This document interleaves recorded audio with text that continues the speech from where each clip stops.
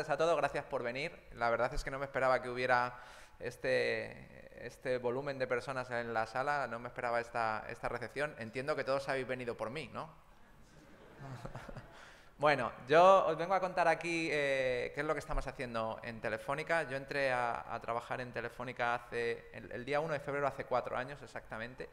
Y, bueno, entré con la, con la, sencilla misión de construir la empresa más grande de seguridad del mundo. Eso es lo que me dijo mi jefe. Y yo le dije, sí, sí, ¿cuándo la quieren? ¿Mañana?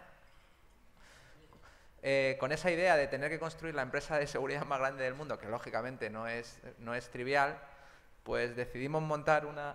¿Funciona? Decidimos montar una compañía que se llama Eleven Paths, que hemos estado trabajando los últimos tres años en ella.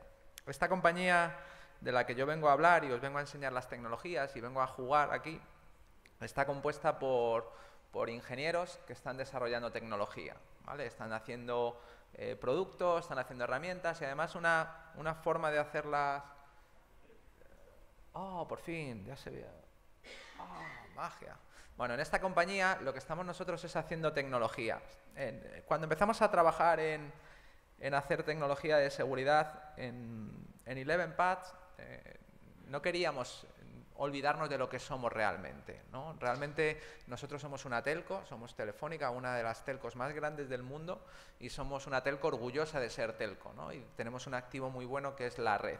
Y cuando empezamos a, construir tecnología, pues si alguien tiene la idea de que puede crear toda la tecnología del mundo por sí mismo, pues está totalmente equivocado. Hoy en día, para un mismo problema de seguridad hay un montón de aproximaciones distintas. Supongo que muchos de vosotros tenéis eh, sistemas informáticos en vuestras organizaciones en los que os identificáis con un usuario, ¿no? ¿Cuántos tenéis sistemas informáticos en los que os identificáis como un usuario? Orejas arriba y seguro que las aproximaciones de seguridad que estáis tomando internamente son distintas. Unos a lo mejor aplicaréis biometría a algunos sitios, otros un token físico RSA, otros un segundo factor de autenticación basado en un OTP, un one-time password, otros estaréis utilizando nada más que el usuario y contraseña de toda la vida, lo cual es un error. Pero existen muchas formas distintas de gestionar la, la seguridad. Cuando estamos hablando de que, de que somos telefónica, tenemos una tenemos una vocación innata en la compañía y es que, eh, como, bien ha dicho antes Daniel, eh, pues muchas en muchos de los países donde estaba Telefónica pues era una concesión pública. Telefónica es una empresa con vocación de servicio público. Y cuando nos hemos pasado al mundo de la empresa, seguimos con esa vocación, seguimos con la vocación de servir a nuestros clientes. Y no buscamos hacer todas las tecnologías de seguridad, sino dar la mejor solución de seguridad para nuestros clientes. Y en esa estrategia, si hay que trabajar con partners que son buenos fabricantes de tecnología, vamos a seguir con ello. Lo que queríamos con Eleven Paths es crear esas cosas que solo nosotros éramos capaces de crear. Por eso eh, montamos un equipo de ingenieros y empezamos a buscar piezas tecnológicas que nos diferenciaran del resto, porque solucionábamos algo que nadie había solucionado hasta el momento o lo hacíamos de una manera distinta que podía ser mejor para muchos casos. Esto empezamos hace tres años y a día de hoy, pues la verdad es que estamos muy orgullosos de todo el portfolio de productos y tecnologías que hemos creado nosotros, estas tres líneas que veis ahí hacia abajo. Algunas de ellas tan importantes para nosotros como que solo las podemos dar gracias a que somos una telco y que podemos dar servicios de, de tráfico limpio desde la red. Esto nos permite que en el cliente sea mucho más fácil disfrutar de una conexión a Internet segura sin que tenga que hacer un, despliegue de tecnologías en su casa, sin que tenga que administrarlas, pero además que tenga un mejor ancho de banda, porque somos nosotros los que en la red vamos a parar todo lo que está sucediendo. O podemos dar servicios anti-DDoS mejor que nadie. Nadie puede dar un servicio anti-DDoS mejor que, que una telco, porque lo damos directamente desde la red. Somos los más indicados para dar esos servicios. Y esto lo hacemos pues, con los servicios de Internet, los de cloud, el tráfico web, etc. Eso nos hace diferenciadores dentro de nuestra estrategia, pero en la parte tecnológica también buscamos hacer cosas distintas. Eh, una de las tecnologías que tenemos, que hemos hecho eh, nueva, es esa que veis ahí a la derecha, que se llama Mobile Connect, que no ha sido una, una apuesta única de Telefónica, sino una apuesta de toda la industria de las telcos. Eh, en este caso estamos utilizando el canal seguro que solamente tienen las telcos para comunicarse con la SIM, con la tarjeta de vuestro, vuestro teléfono móvil, para establecer un canal seguro paralelo que pueda permitir a una organización, a un banco, a una empresa, aplicar un segundo factor de autenticación o la firma de operaciones utilizando la SIM y las capacidades criptográficas de la SIM que tienen en el teléfono sin necesidad ni de que tengas un smartphone, ni de que tengas internet en tu teléfono, ni de que tengas datos o wifi, porque lo hacemos por el canal que solo tiene la telco. Aparte de eso, pues bueno, pues yo os voy a ir desgranando algunas de las tecnologías que hemos ido desarrollando, porque la industria nos ha pedido a las telcos que seamos los principales gestores de la seguridad de las empresas. De hecho, los grandes proveedores de seguridad gestionada en el mundo a día de hoy son todos telcos. La última empresa de seguridad gestionada grande que quedaba, que como sabéis se llama Trustwave, ha sido adquirida por otra telco, por Sintel, una telco eh, que ha decidido también entrar en el mundo de la seguridad gestionada. Y esto no es no es porque nosotros queramos, sino porque es el, camino natural de la madurez. ¿no? Nosotros cuando vemos la madurez de, la seguridad de las empresas o de las infraestructuras, pues inicialmente en Telefónica teníamos esto, la red, eh, que sigue siendo para nosotros nuestro principal activo. Somos muy orgullosos de que el principal negocio que, que gestionamos lo gestionamos a través de las comunicaciones. Pero luego nos hemos ido moviendo hacia otras infraestructuras que nos han demandado los clientes, los data centers, donde eh, proveemos IT a nuestros clientes, y luego hemos llegado a esa parte, ¿no? la parte de seguridad, donde las empresas nos demandan que le gestionemos la seguridad de sus redes, porque ya que le gestionamos y le monitorizamos las redes, que también pasemos a gestionar la seguridad, y lo que es el entorno hoy en día, la ciberseguridad. ¿no? Hoy, eh, por desgracia, todavía hay muchas empresas que siguen teniendo un montón de personas físicas mirando por la cámara de seguridad de un cuarto para ver si la puerta del garaje se abre o no se abre. Y sin embargo no están mirando por la cámara de seguridad más importante que es todo lo que está pasando en Internet que afecta a tu empresa.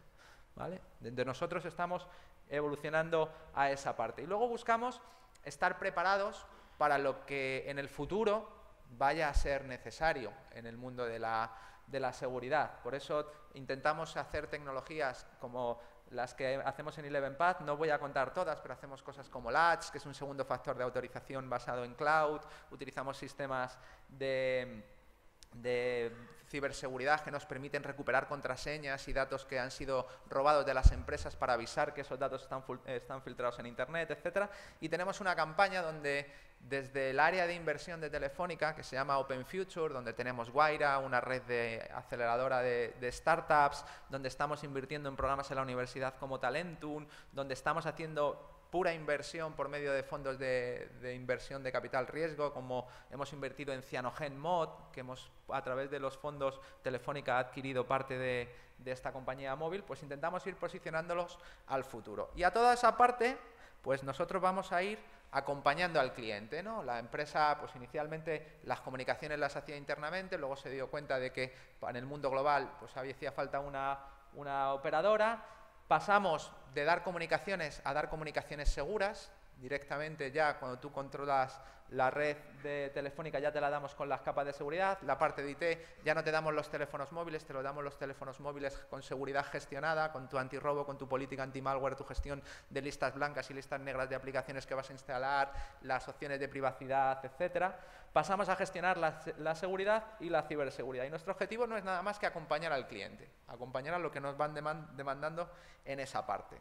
Para hacerlo, pues de manera global, pues nos aprovechamos de que somos una, empresa grande, que estamos, tenemos presencia pues en toda Latinoamérica, tenemos presencia en Estados Unidos, tenemos presencia en España y hemos ido creando unas infraestructuras que hemos homogeneizado con todas las tecnologías que son los SOCs, los Security Operations Centers.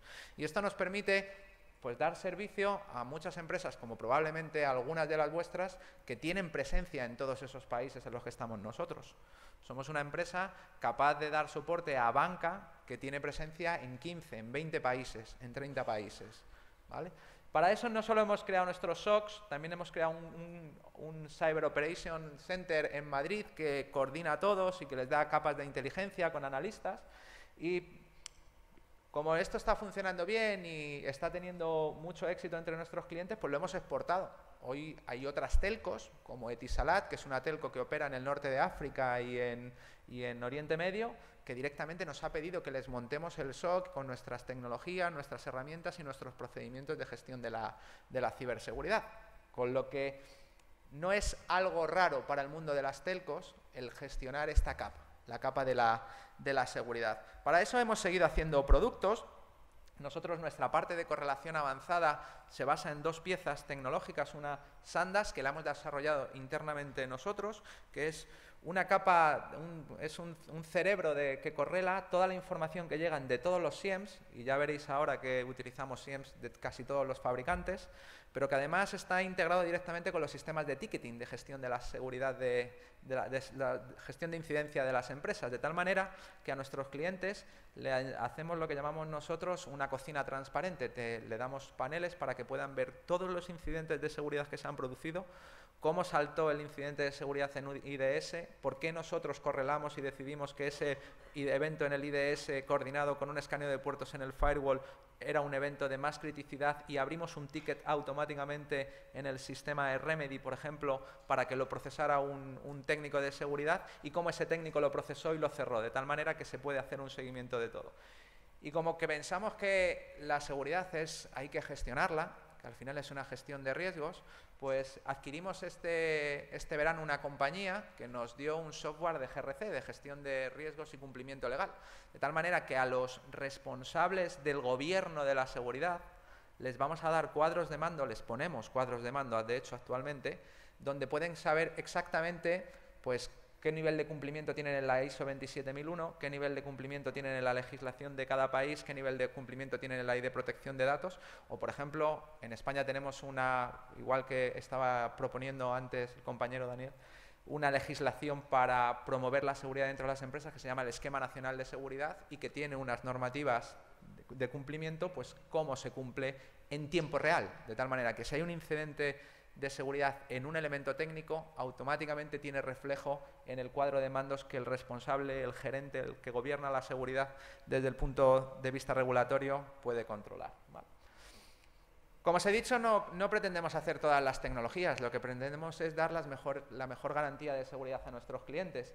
Y para eso hemos buscado, hemos hecho un acuerdo de, le llamamos nosotros alianzas estratégicas con partners, y ya que nosotros tenemos una infraestructura muy potente de SOCs coordinados, pues les hemos metido dentro de nuestros SOCs a esas tecnologías que seguramente muchos conocéis, pero les hemos obligado a que se integren tecnológicamente con nuestras plataformas y además que las soporten y las evolucionen. Si tú pones un firewall de una determinada fabricante o un IDS de un determinado fabricante, lo último que quieres es que una nueva versión de ese firewall de ese fabricante te rompa todo tu sistema de ticketing y todo tu sistema de la seguridad de la gestión. ¿vale? Para eso hemos estado trabajando con los fabricantes, hemos firmado un acuerdo tecnológico con, con Palo Alto, los dispositivos de Palo Alto que nosotros utilizamos ahora actualmente en Telefónica están integrados con Tacit, que es una tecnología que os voy a enseñar ahora, y con Sinfonier. De tal manera que son diferentes y que si en el futuro los evolucionan, ellos tienen que seguir integrándolos con nuestras tecnologías. Y hemos hecho lo mismo con Voltif, que es una startup israelita que permite cifrar el correo Office 365 en la nube, de tal manera que lo han integrado con Latch. Tú puedes decidir cuándo se descifra o se cifra al correo electrónico, desde qué dispositivo se puede acceder, desde cuál no se puede acceder. Con RSA, con nuestro sistema de, de Sandas, de inteligencia, los dispositivos RSA que usamos nosotros van integrados ya con, con Sandas. Lo mismo con Nitro de Intel Security o Blue Code, que se han integrado con Metasil y con Sandas. ¿no? Metasil es nuestro sistema de limpieza de metadatos en documentos ofimáticos para que no haya fugas de información en, las empresas cuando tú envías un correo electrónico. ¿no? Supongo que todos limpiéis los metadatos antes de enviar un PDF o un Word por correo electrónico. ¿no? En España eso lo marca el Esquema Nacional de Seguridad, ¿eh? así que aquí hay que ponerlo también. bueno, y Alien Bolt, por ejemplo, también pues, con, su, con su sistema IDS. Lo que intentamos es construir soluciones para nuestros clientes y las intentamos construir en ese hueco donde vemos que hacen falta. hoy en día es muy fácil medir el nivel de madurez de seguridad de, una empresa y uno de los, de los termómetros que nosotros tenemos para medir ese nivel de madurez pues es saber dónde están invirtiendo el dinero de seguridad. ¿no? Inicialmente yo os he puesto una medida, si invierten más en seguridad física que en seguridad digital, no te van a entrar por el garaje, pero te van a hackear el sistema. Es fácil de entender. ¿no? Decía, decía eh, había una frase, no me acuerdo el nombre ahora, decía uno de los ciberzares de, Estados Unidos, que si te gastas más en café que en seguridad IT, te van a hackear también. ¿no? Pues bueno, pues en el mundo de hoy esto ya no, ya no es una buena métrica y el termómetro es cuánto de maduro eres como para asumir que ya te han hackeado o que, y que además van a triunfar. Es decir, que el enemigo está dentro y que el enemigo va a conseguir su objetivo. ¿vale? Entonces es lo que nosotros equilibramos es las empresas menos maduras siguen invirtiendo aquí, en prevenir. Siguen invirtiendo en pongo un firewall, pongo un WAF, pongo eh, fortifico más el perímetro, la puerta, etcétera. Y las empresas más maduras empiezan a asumir que el enemigo está dentro y por tanto tengo que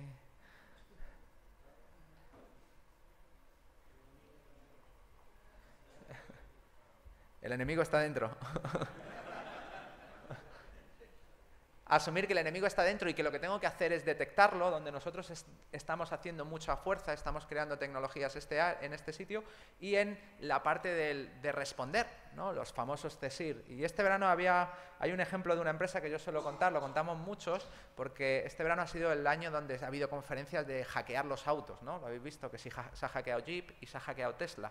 Y son dos empresas que tienen una historia totalmente distinta y una visión del mundo digital totalmente distinta. Mientras que Jeep es una empresa que viene del mundo físico tradicional, Chrysler, pues cuando ha tenido el fallo de seguridad no estaba preparada. Y lo que ha tenido que hacer es, primero les envió un pendrive a todos los clientes para que se lo actualizaran. Y la gente recibió un pendrive y dijo, ¿qué carajos hago yo con esto? ¿Vale? Como se dieron cuenta de que eso no funcionara, entonces montaron un plan de formación para formar a todos los talleres de todo el país. ¿Vale? Después le mandaron el software y los pendrive a los técnicos y después hicieron una campaña de telemarketing para llamar a todos los clientes y que fueran a los talleres. Podéis hacer un poco el cálculo de lo que les costó eso, ¿vale? Y a día de hoy no han conseguido erradicar el fallo porque hay mucha gente que todavía no lo ha actualizado. En, la, en el otro lado tenéis a Tesla, que ya venía preparado para sufrir fallos de seguridad y venía con un actualizador automático, de tal manera que pusieron el parche online y en cinco minutos todos los coches arreglados. Esto es una empresa inmadura en el mundo de la ciberseguridad y una empresa madura. ¿Lo habéis entendido? ¿Tenéis todos preparados ya el actualizador para cuando tengáis el problema o estáis todavía en el otro lado?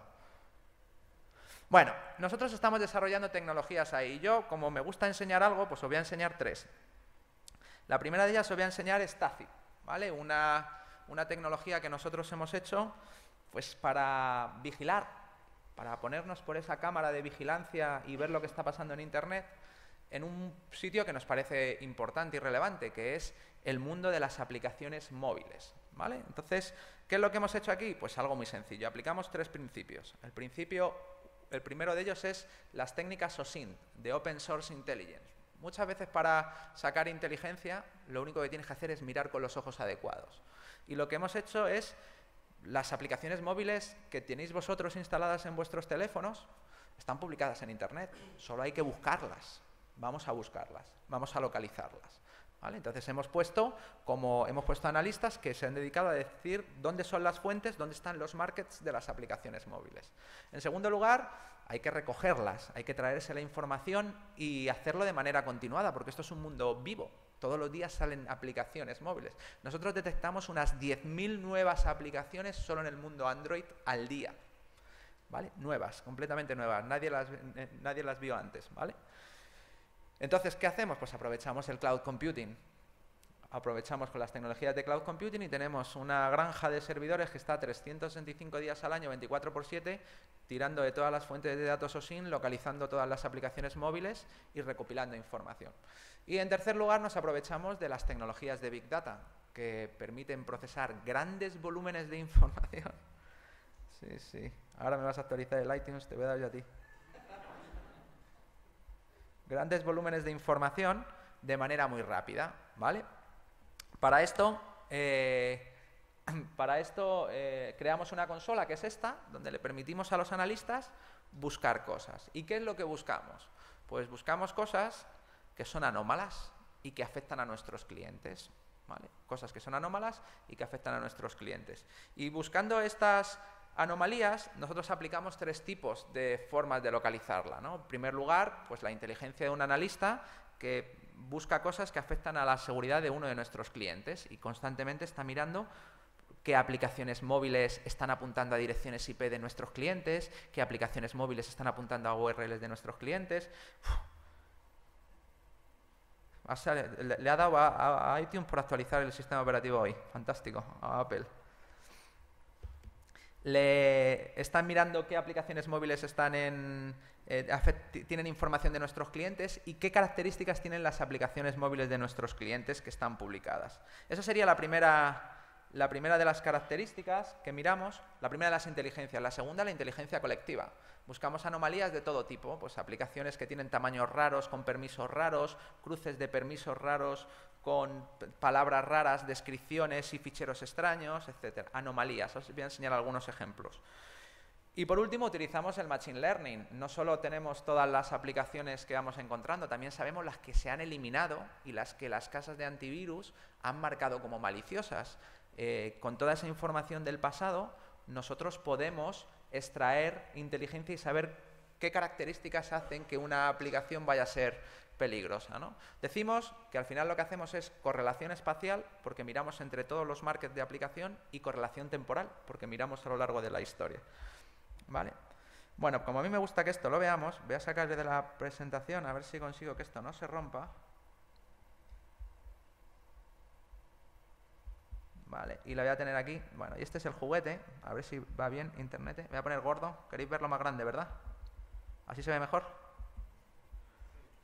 Vale, bueno, esto es el juguete. No sé si tengo internet porque me han cerrado el ordenador. O si Ahí está.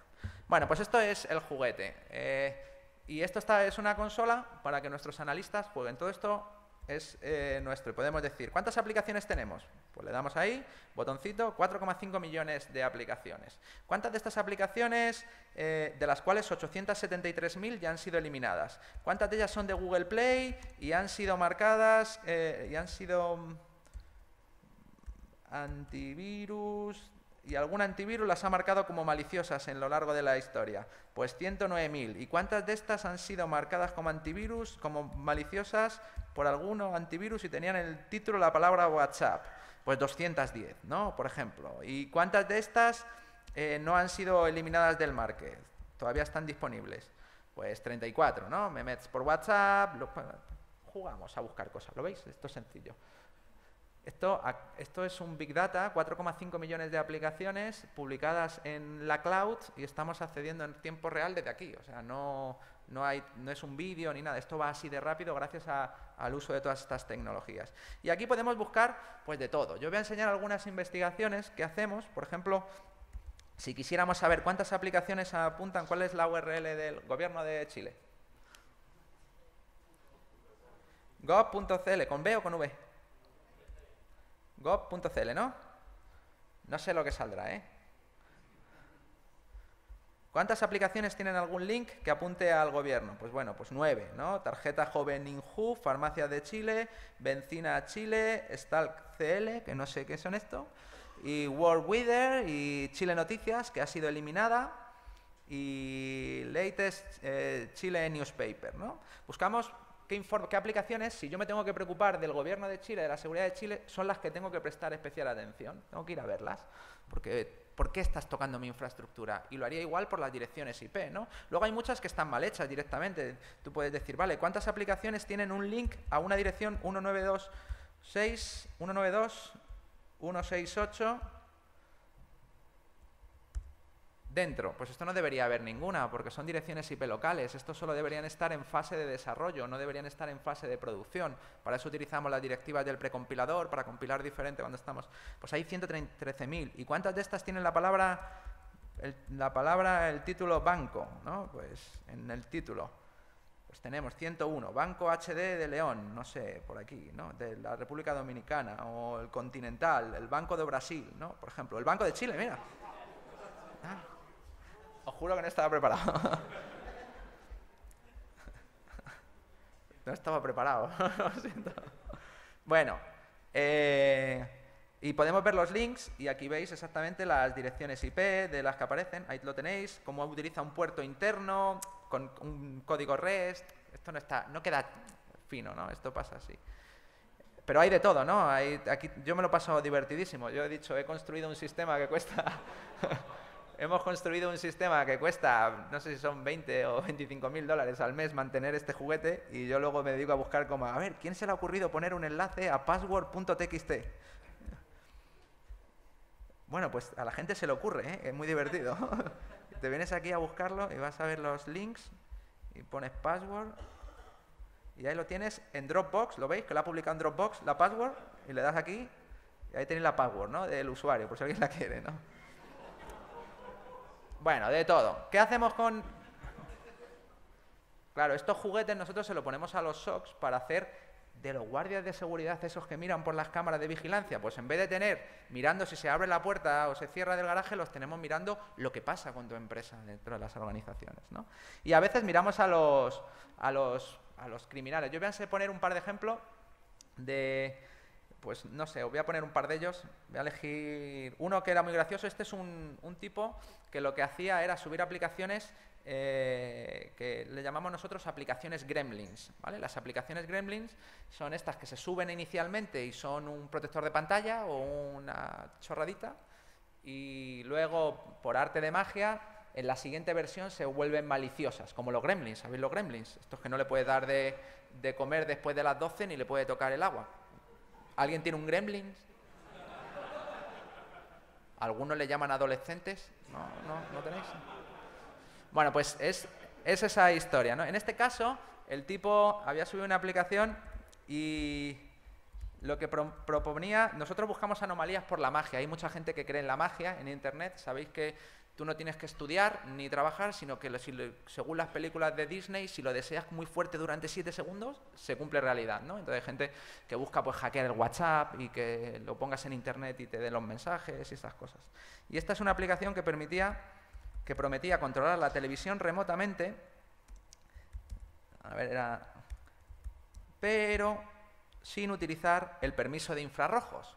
Entonces, si con, tú vas a controlar una televisión remotamente con una aplicación y no tiene permiso de infrarrojos, ¿cómo lo haces? Con magia, ¿no? Bueno, por supuesto esta aplicación era maliciosa y, lo que hacía esta aplicación era eh, te cargaba en un layout publicidad, ¿vale? Lógicamente nosotros detectamos la anomalía, cuando dentro de esas 10.000 aplicaciones al día que aparecen nosotros detectamos una nueva anomalía, pues hacemos una lista corta, seleccionamos cuál vamos a poner el esfuerzo de un humano, de un profesional, a hacer el reversing. Y en este caso vimos que el amigo se conectaba a este dominio, que es Oxty, aquí está, las aplicaciones se conectaban aquí donde recibían los comandos de cuál es el sitio del que tienen que cargar la publicidad. Como veis, es todo de lo que da dinero, que es el porno, ¿no? Todo es, si queréis links de porno, todos los tiene todos, ¿vale? Ahí cada vez que actualiza, te va dando un nuevo link. Y, lógicamente, la percepción que tiene el usuario es, de, jope, acabo de, de contratar un giga con Telefónica y no me ha durado nada.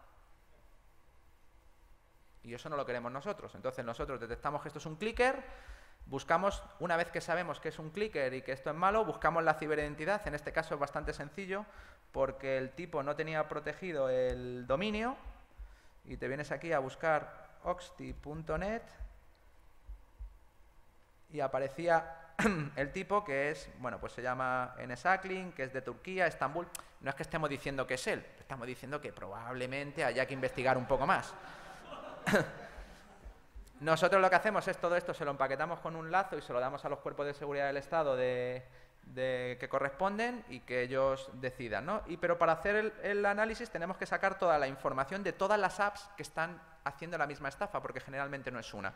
Y en este caso, pues, eh, después de analizarnos, generamos lo que llamamos nosotros la singularidad, que es de todas las características que tenemos, que tenemos permisos, datos del certificado, fechas de todos los archivos, hashes, información del manifest, las imágenes, todos los ficheros, ¿qué, podemos, ¿qué combinación podemos hacer para encontrar todas las hermanas? Todas las aplicaciones que han sido subidas. En este caso es muy sencillo, porque como el layout que utiliza es este, basta con que le digamos, oye, de los 4,5 millones de aplicaciones que tienes, dame todas aquellas que tengan este mismo layout, este mismo ficherito. Le damos al botón mágico del, de la lupita, contad conmigo, 4,5 millones, una característica, a ver cuánto tarda esto. Uno, ya está, ¿vale? Pues ahí tenéis las 38 aplicaciones que el tipo había utilizado. Sí, son gremlins, simulan ser el Monopoly, el Talking Tone, el Mask, Traffic Reader, Doctor Driving, Simpson. ¿Quién ha buscado un jueguecito para instalárselo a, a, un amigo, a un niño, a un familiar alguna vez en su vida? Y que sea gratis, porque esto de pagar no... Vale, pues al final te sale más caro ¿eh? que comprar la, aplicación. Bueno, este es uno. Eh, os voy a hacer el, último ejemplo. Pues yo me puedo tirar aquí todo el día hablando de estas cosas. ¿eh? Os voy a enseñar otro ejemplo, este, este es muy divertido. Este tenía todo lo mejor, porque era... En el título ponía porno, sexo, HD, vídeo, vídeos. Y lo gracioso es que, eh, para que fuera más divertido, por lo que lo pillamos en los permisos... ¡Ay, se me ha ido! ¿Está aquí? Se me ha ido, sí, tengo que poner otra vez. Title, sexo, title, vídeos, title, porno, title, HD. Y en los permisos, permissions, teníamos el de call phone. ¿Qué es lo que tú quieres? Bajarte una aplicación para el porno y que llame por teléfono, ¿a que sí? ¿no? Voy a bajar una aplicación para ver porno y que llame por teléfono, el permiso de llamada de teléfono. Bueno, pues eh, aquí veis, estos son cuatro que tienen esto, que cayeron en la anomalía, pero jugando con ellas nos dimos cuenta, voy a abrir cualquiera esta, que lo que hacía es, en la lista de permisos, tenemos el de call phone, aquí está el permiso, lo voy a poner aquí como una de las características para hacer la búsqueda, y en la lista de ficheros utilizaba un ficherito que es, vamos a ver, si sale aquí, que se llama font dialer. ¿Lo veis ahí? Con estas dos características le podemos decir, oye, búscame dentro de los 4,5 millones de apps y todas las que vengan en el futuro, aquellas que tengan esto. ¡Voilà! Y aparecen 10 aplicaciones. Estas dos son últimas, que son nuevas, de que no son maliciosas, que están utilizando estas librerías para otras cosas. Pero ahí tenéis eh, las películas que vemos y luego una de recetas, que también era parte de la estafa, una de estrenos de película, una de canciones infantiles. ¿vale? O sea que sin darte cuenta te bajas una aplicación aparentemente normal y lo que está haciendo es llamar a números de teléfonos premium de pago, ¿vale? Automáticamente te bajas la app y está llamando y todos los meses te está generando, generando costes. Y luego pues podemos hacer de todo. Os hago la última demo. ¿Queréis la última o lo corto? ¿Otra más? Os ha gustado, ¿eh?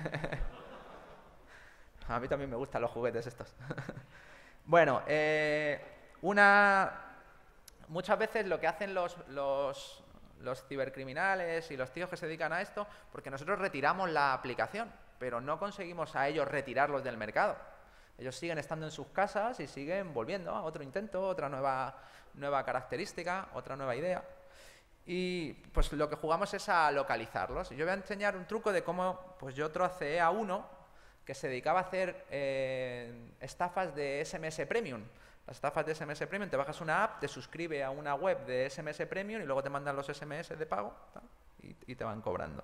Lógicamente a nosotros eh, en Telefónica es algo que nos preocupa mucho y les dedicamos especial cuidado a localizar a estos tipos y hacer un bonito paquete y entregárselo a los cuerpos de seguridad del Estado. Y en este caso, eh, pues buscamos, mm, voy a hacer un ejemplo con, vamos a buscar aplicaciones que ya no estén que hayan estado publicadas en Google Play, que además tengan una API. El API key son las que utilizamos para los SDKs, para reconocer qué SDK está utilizando, ¿no? Utilizas una API key. Y mm, que además haya sido marcada por algún antivirus de los que estamos ahora indexando como una estafa de stop SMS y a ver cuántas salen. ¿Vale? 23. Veis que aparecen 23 aplicaciones. Si nos fijamos en esta primera, vemos que se llama, que pone Get It Down es el desarrollador y este crespón negro de la derecha significa que ha sido eliminada de Google. Pero fijaos qué fácil para los analistas es localizar todas las ciberentidades que está utilizando este mismo tipo y cómo le podemos echar el ojo a las que probablemente van a ser maliciosas. ¿no? Entonces, abrimos este, esta aplicación, vemos todas sus características, y si vamos a la parte de las API keys, vemos que está utilizando un, SDK en concreto con una API key. Un tipo preocupado por su privacidad tendría que ir renovando el API key cada vez que le pillan, pero esto es mucho trabajo. ¿vale? Y lo que nosotros hacemos es simplemente seleccionamos el API key, le damos al botón mágico y me da las 63 aplicaciones que tiene. Vamos a poner que estén en Google Play para que sea más fácil. ¿Le he dado? 43 aplicaciones, las ordeno por fecha de publicación y si vamos hacia al principio, a lo más antiguo, vemos que inicialmente este desarrollador se llamaba New Sci Apps. ¿Lo veis? Sí, ¿lo veis? Sí. ¿Vale? Que luego el desarrollador se cambia, cuando le van echando las, le van matando las aplicaciones, se cambia a Mobile Media Apps. Sigue utilizando el mismo truco de un correo con Android App y algo, y este es de Gmail. Luego le van matando las aplicaciones y cuando le matan todas, pues si vamos a la página 2 veremos que utiliza otro usuario, que es el de Get It Down, que es el, con el que empezamos la investigación, que vemos que lo han tirado, y que luego se ha sacado otro que es Sourag DG, que es con el que está trabajando actualmente. ¿Vale? ¿Será malicioso Sourad DG? Pues no sé, pero vamos a echarle un ojo. Que este ya sabemos que tiene un track record que nos hace sospechar. ¿vale? ¿Entendéis esto? Bueno, este es el tipo de herramientas que nosotros hacemos para vigilar la ciberseguridad de nuestros, de nuestros clientes. Si os dais cuenta, lo que estamos es asumiendo que los malos ya han conseguido saltarse los markets, que ya están dentro. Lo que queremos es detectarlos. La segunda de las tecnologías que os vengo a contar es como nosotros vemos la... que sí, hombre. Cómo vemos la... Cómo vemos la parte de, procesar toda esta inteligencia. Al final, eh, cuando tienes que moverte en el mundo de hoy en día, para localizar eh, inteligencia necesitas procesar grandes cantidades de datos, muchísimas cantidades de datos, y además las tienes que procesar en tiempo real. Imaginaos que tuvierais que poner la estrategia de seguridad nacional aquí, el tráfico de red de todas las empresas y todo el volumen de incidentes que se producen dentro de las empresas, dentro de los ministerios, dentro de las organizaciones, sumado a todo lo que se está produciendo fuera de Internet, es ingente.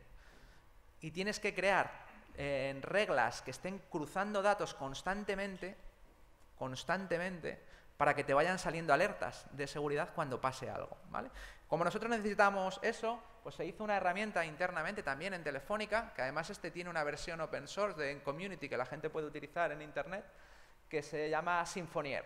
Y no es nada más que una herramienta que permite utilizar, la, que permite utilizar la potencia de Storm para crear topologías de inteligencia. Lo que le damos a los analistas de seguridad son unas cajitas que son componentes que se conectan a fuentes de información, que cruzan fuentes de información y que sacan resultados. Y lo hemos hecho pensando en analistas que no tienen por qué programar.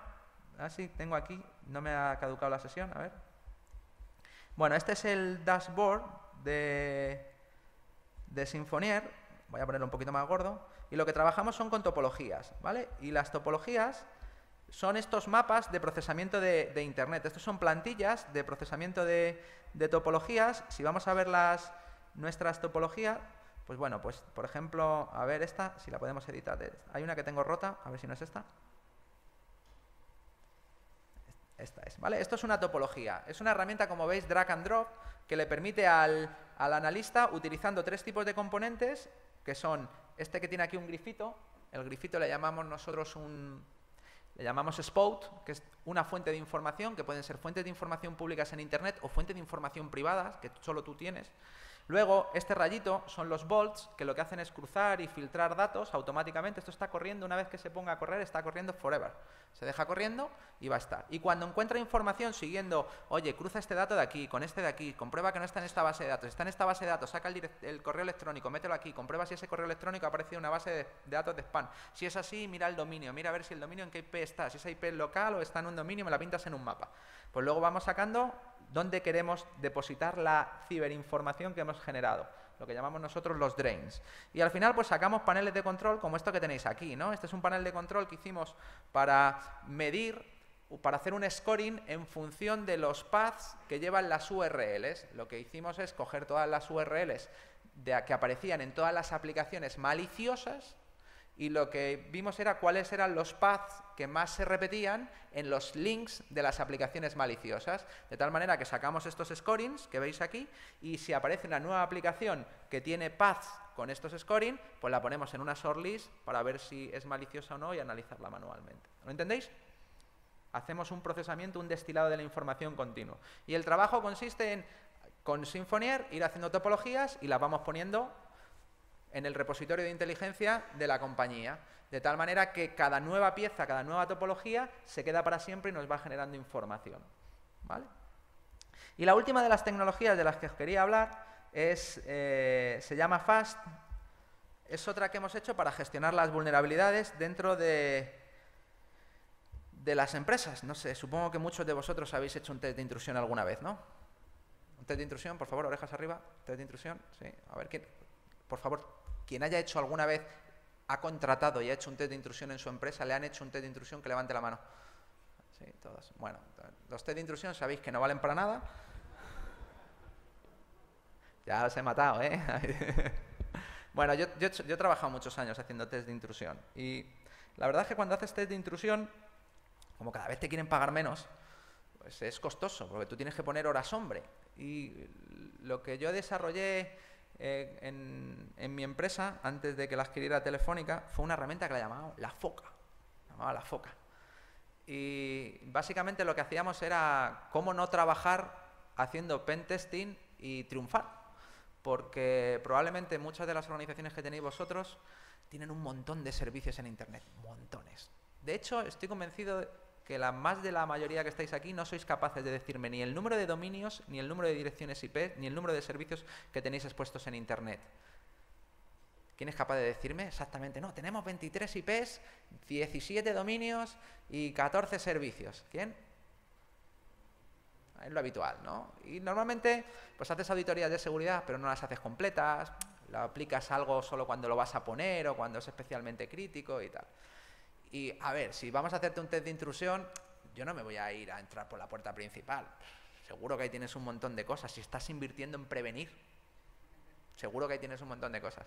Entonces hicimos una herramienta que se llamaba FOCA, que se especializaba en hacer el discovery de activos, buscaba todos los rincones, todo lo que tenías expuesto, y buscábamos la gacela herida como los leones. Los leones no se van a por la gacela que corre más, se van a sentarse ahí, ¿no? Ya lo sabéis, al lado de la charca, cuando vienen las gacelas, beben agua, ellos esperan que terminen de beber agua y la que más agua ha bebido, que en la metáfora será la que más beneficios ha repartido y menos ha invertido en seguridad, es a la que te comes.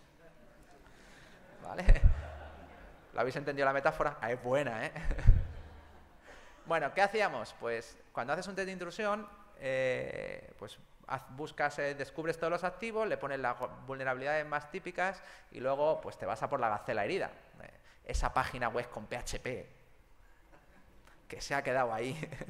Ese WordPress que hace tres meses que no se actualiza, ¿vale? Ese router con contraseña por defecto que no ha tocado nadie desde hace tres años, ¿vale? va buscando la gacela herida. Y a partir de ahí entras y luego, pues bueno, pues haces escalas, privilegios en el, en, el activo, después te haces un, un, pivoting, te mueves hacia otros lados, etc. Vosotros lo sabéis, ¿verdad, chicos? ¿Cómo va esto? Y al final llegas al corazón, encuentras el SQL Injection donde necesitas, llegas a la base de datos, te, te sacan los datos y haces un informe chulísimo. Un informe que te lo entregan aquí diciendo, te hemos ouneado totalmente. Y es verdad, te hemos ouneado pero si tú arreglas lo que viene en ese informe, estás muy lejos de estar seguro. Has cerrado una puerta. Y punto. Yo ya me he comido esa gacela herida y esa gacela herida tú la has quitado de la manada. Pero te quedan muchas gacelas. Muchas gacelas que a lo mejor hoy no están, pero sí mañana se convierten en una gacela herida. Y como tú no vas a volver a hacer el pentesting hasta dentro de seis meses o hasta dentro de un año, pues hay mucho tiempo para comer gacelas.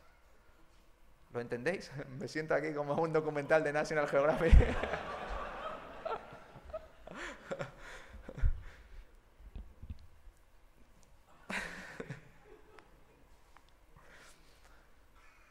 no me hagáis reír, hombre.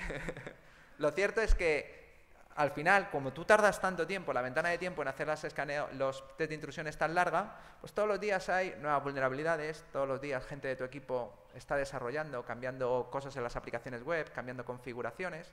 Todos los días hay publicaciones en congresos de hacking donde se publican nuevas herramientas, nuevas técnicas, nuevas formas de explotar una vulnerabilidad conocida, con lo que una semana, dos semanas, un mes es una ventana de tiempo infinita. ¿Qué sucede? Pues que si alguien viene a hacerte otro test de intrusión, te va a encontrar otra gacela herida, va a volver a hacerte el informe y vas a volver a salir mal en la foto.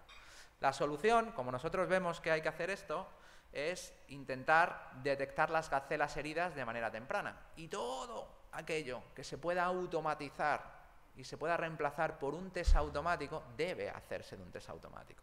¿vale? Así que yo tenía una herramienta que se llamaba Foca, la matamos, matamos a la foca y la subimos a la cloud. Y creamos una cosa que se llama FAST, que es Foca as a Service by Telefónica. ¡Ah, qué mola! que cuando fuimos a los americanos y le dijimos, no, esto es Foca as a Service. Dijo, no, esto suena muy mal.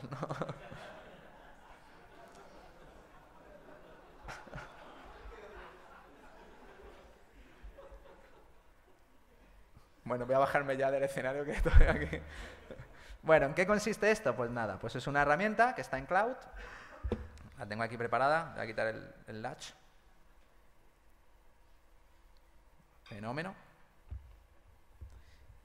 Y que lo que nos permite, pues es, yo le digo aquí un dominio y le damos caña, ¿no? Entonces, yo para hacer las pruebas siempre tiro con Apple, para que lo veáis, porque Apple es hacking friendly. Cuando le detectas una una empresa hacking friendly es que le detectas una vulnerabilidad y te la agradece. O sea, si vais a ponéis siteapple.com Chema Alonso, veréis que los de Apple son buenos chicos y no, cuando le reportamos las vulnerabilidades te dicen, gracias Chema, te lo reconocemos, era un tío majo. ¿no? Entonces, entonces yo lo pruebo todo aquí con, con esto, vamos a los scans. Y bueno, básicamente lo que tenemos es, es una plataforma que ahora está tirando, y que esto está funcionando 24 por 7, 365 días al año y cuando acaba de hacer todas las pruebas, empieza otra vez desde el principio. ¿Por qué? Pues porque hemos hecho todas las pruebas con un user agent de un navegador, pero como tus páginas es responsive, ahora utilizamos el de el navegador de un dispositivo móvil y lo que vemos es distinto. Y después lo probamos de otra IP porque resulta que tienes geo, geocaching o porque estás utilizando diferentes páginas para cacheo. Entonces cada vez vamos viendo cosas distintas.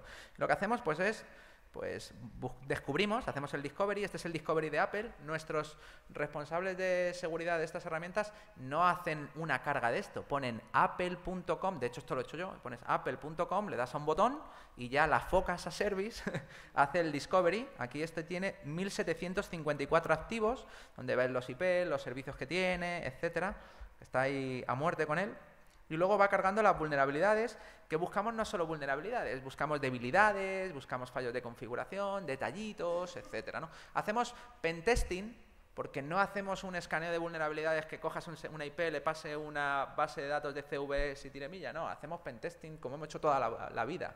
Con el colmillo retorcido nos vamos a archive.org, nos bajamos todas las URLs antiguas de ese dominio, las cruzamos, tiramos en XS Expose y bajamos la base de datos a ver si afecta a tu dominio, te la lanzamos, buscamos los metadatos, sacamos los nombres de usuarios, hacemos un diccionario de usuarios y hacemos un ataque de fuerza bruta, te probamos a ver si tienes una, una protección contra ataques de fuerza bruta, a ver si tienes una protección contra ataques de fuerza bruta a la contraseña, te fijamos la contraseña y te, iteramos los nombres de usuarios por los metadatos, a ver si hay alguno que tenga un 2, 3, 4, 5, 6, que siempre hay alguno que lo tiene.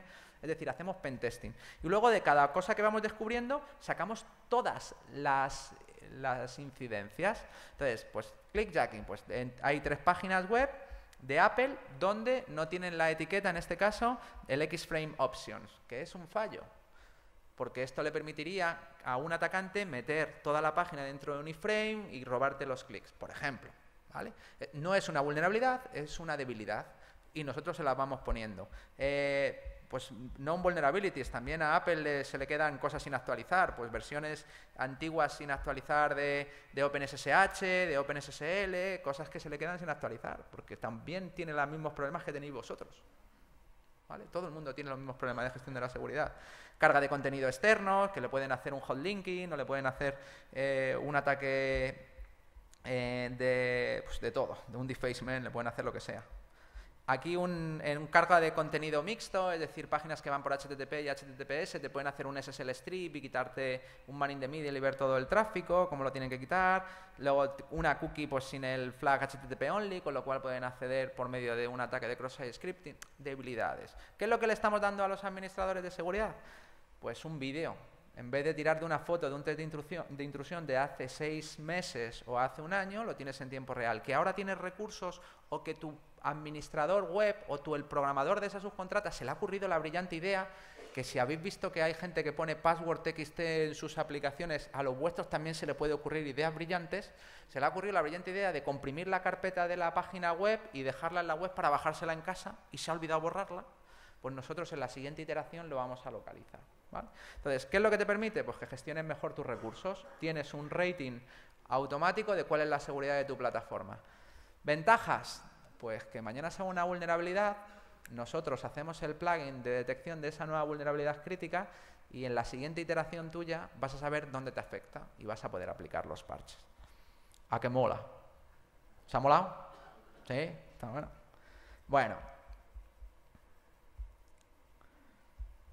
En esto es en lo que estamos trabajando a la hora de gestionar la seguridad. Por supuesto, vamos a seguir trabajando con los vendors de seguridad, porque tú vas a seguir necesitando un firewall, vas a seguir necesitando un IDS, vas a seguir necesitando un IPS o vas a seguir necesitando las herramientas eh, tradicionales de seguridad. Pero ahí nosotros, cuando empezamos a trabajar en Eleven Path, pensábamos que no podíamos aportar. Podíamos aportar en este tipo de cosas, que desde Telefónica podemos escanear la seguridad de todos nuestros clientes desde la red y que automáticamente tú te compras la línea de comunicaciones empresarial y nosotros te auditamos 365 al día, 365 eh, días al año la seguridad. Y cosas que, pues para que os hagáis una idea, hicimos unos cálculos para un evento del otro día de lo que teníamos, ¿no? Y con Tacit has visto que tenemos 4,5 millones de aplicaciones, unas 781.000, ya no, ya son 800 y pico mil retiradas. Para nosotros, si alguno de vosotros quiere que le hagamos una revisión de sus aplicaciones, así, oye, mírame las aplicaciones que hay. Se lo pedís a vuestro comercial de Telefónica y os la miramos porque habéis visto lo fácil que es para nosotros mirar las aplicaciones que afectan a vuestra empresa. Luego tenemos cyber threats, que son gente que está analizando eh, redes sociales, que está analizando lo que pasa en los foros, que está analizando los data leaks que se producen en dampeos de robo de identidad, en, los, las botnets que son desmanteladas, los robos de tarjetas de crédito de usuarios y contraseñas, y están analizando todo esto en Internet, sacando toda la información y avisándote por medio de una consola en tiempo real de que eso te ha afectado a tu empresa, porque son dominios de tu empresa, de correo electrónico de tu empresa, porque son tarjetas de crédito de tu banco, por lo que sea. Y le estamos haciendo con cyber threats. Y pues no solo eso, también amenazas, las cosas que, se van, surgiendo de posibles ataques en foros, en redes sociales, etc. Y luego la parte de FAST, donde ya tenemos más de 100 empresas que no son 100 sitios que estamos mirando, ni mucho menos, porque muchas de estas jurídicas tienen un montón de dominios, Pero el otro día hicimos un cálculo, ya por supuesto estaríamos más allá, de cuántos escaneos completos hemos hecho ¿no? con todo esto. Y salían 41.000 escaneos persistentes. Es como si hubiéramos hecho 41.000 auditorías de seguridad. ¿Vale? Pensad lo que costaría contratar 41.000 auditorías de seguridad en vuestra organización. Con esto no estoy diciendo que eh, debes dejar de hacer el pentesting manual, no, ni mucho menos. Lo que estoy diciendo es que cuando hagas un pentesting manual, que traigas a un equipo de pentesting estratégico que no te vaya a buscar una gacela herida. Que las gacelas heridas ya las hayas matado tú previamente de manera automática, automática y continua. Y que cuando venga un pentester realmente te haga una auditoría que tenga mucho valor para ti, porque sea capaz de sacar aquello que te afecta.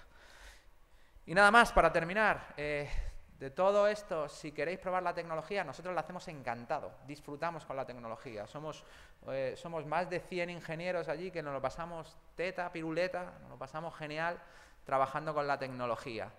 Y lo mejor para nosotros es que la gente la use. Está a vuestra disposición, sois clientes de Telefónica y la tecnología la hemos hecho en Telefónica para vosotros. Si alguien quiere probar, quiere probar Tacit, quiere que le hagamos un análisis de Tacit, quiere que le hagamos un piloto de pentesting persistente a ver qué somos capaces de sacar, o quiere que le hagamos un análisis de fuga de información con metadatos, o quiere cualquier eh, cosa y quiere probarla, acercaos a vuestro comercial de Telefónica, que nosotros encantado la ponemos a vuestra disposición. Y nada más, muchas gracias.